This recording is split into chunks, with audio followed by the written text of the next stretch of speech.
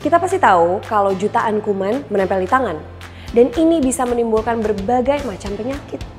Biasakan cuci tangan dengan air mengalir dan dengan sabun.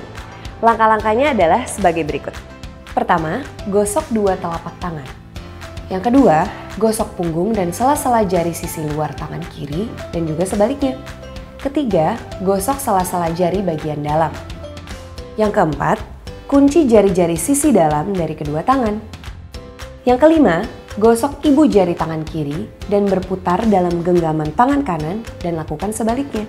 Yang keenam, rapatkan ujung jari tangan kanan dan gosokkan pada telapak tangan kiri. Dan yang terakhir, bersihkan kedua pergelangan tangan secara bergantian dengan gerakan memutar. Dan keringkan kedua tangan dan tutup keran dengan kertas tisu yang masih panas.